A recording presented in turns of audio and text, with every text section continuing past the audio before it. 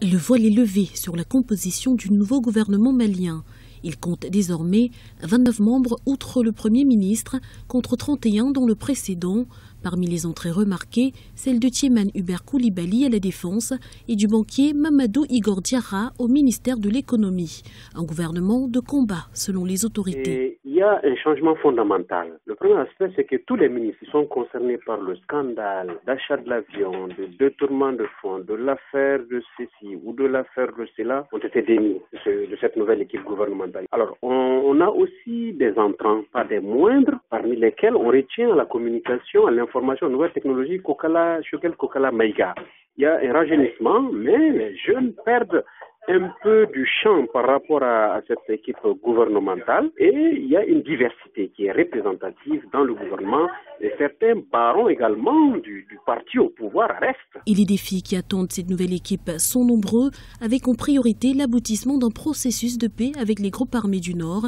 Le nouveau Premier ministre Modibo Keïta, jusqu'alors haut représentant du président Ibrahim Boubacar Keïta au pourparler d'Alger, était déjà très engagé en ce sens, au même titre que le ministre de la Défense fraîchement nommé. On a certains ministres qui sont nommés à des postes assez stratégiques.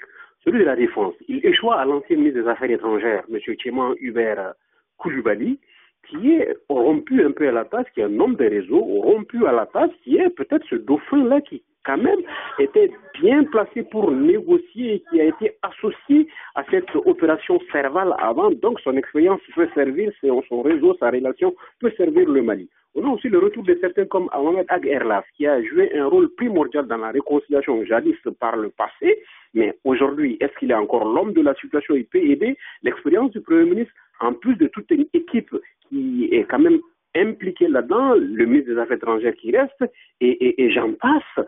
Donc, c'est un signal fort donné, mais à mon humble avis, ça reste encore une équipe de transition Malheureusement, avec les accords, il va falloir remodifier le visage de cette équipe gouvernementale. À noter qu'un membre de la minorité Touareg fait son entrée dans l'équipe gouvernementale.